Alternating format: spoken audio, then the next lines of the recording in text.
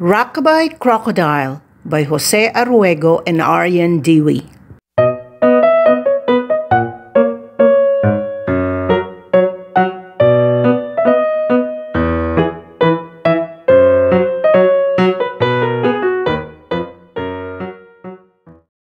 Two elderly boars lived in the jungle.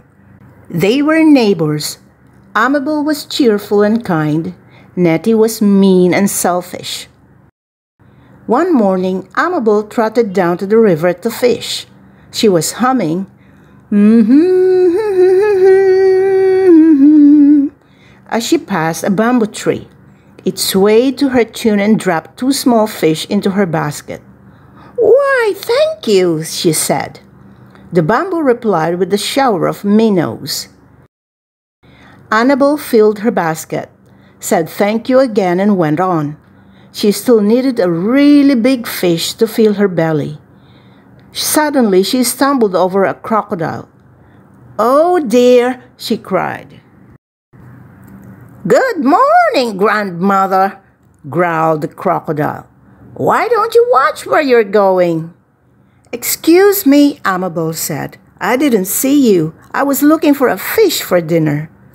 I'll catch one for you, said the crocodile if you'll do something for me. Come into my cave. A baby crocodile lay howling in a mud puddle in a corner of the dark, dirty cave. Isn't he sweet? said the crocodile. But he won't stop crying. Rock him to sleep and he won't be sorry. I'll be right back. And off she went. The baby was muddy and cold. But Amabel held him gently and rocked and hummed, rocked and hummed. Soon the baby stopped howling and went to sleep. The crocodile went to the deepest part of the river and caught some eels and crabs and a very large fish. Then she wove a basket from river reeds, filled it, and returned to the cave. Here, grandmother, she said. Come back whenever you want more fish. Thank you, I will, said Amabel. He's such a nice baby. Then she hurried home. Where did you catch all those fish? Nettie demanded. It all started with a bamboo tree, said Amabel. and then I met a crocodile. She told Nettie the whole story while they shared the fish. Early the next morning, Nettie rushed to the river with a huge basket. She shook the bamboo tree. Turn your leaves into fish for me, she ordered. Nothing happened. She butted the tree hard. The bamboo snapped back and sent her flying into a prickle bush. Ow! She screamed and ran along the river bank. Where's that crocodile and her crybaby? She snarled. The crocodile stuck her head out of the cave. Oh, there you are, Nettie grunted.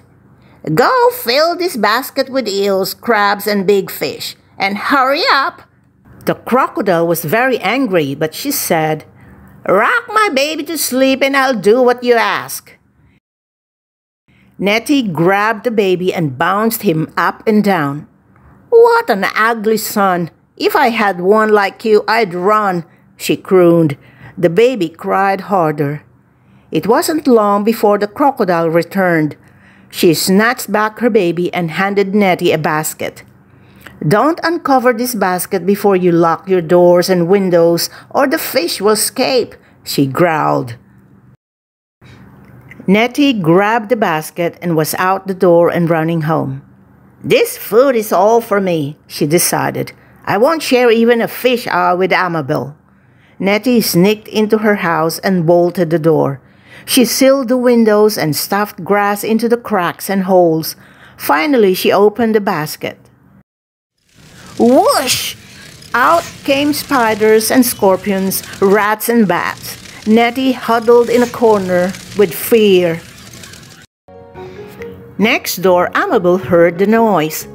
What a ruckus, she thought. I'd better see what's going on at Nettie's house. Amabel had to break the door down. The spiders, scorpions, rats, and bats rushed out of the open door. Oh, Amabel! Nettie cried. I'm so glad to see you. I've been such a fool. Poor Nettie, said Amabel. Come over to my house and have some tea and tell me all about it. From that day on, Nettie and Amabel took turns caring for the crocodile baby and the bamboo tree, and the crocodile supplied them with all the fish they could eat.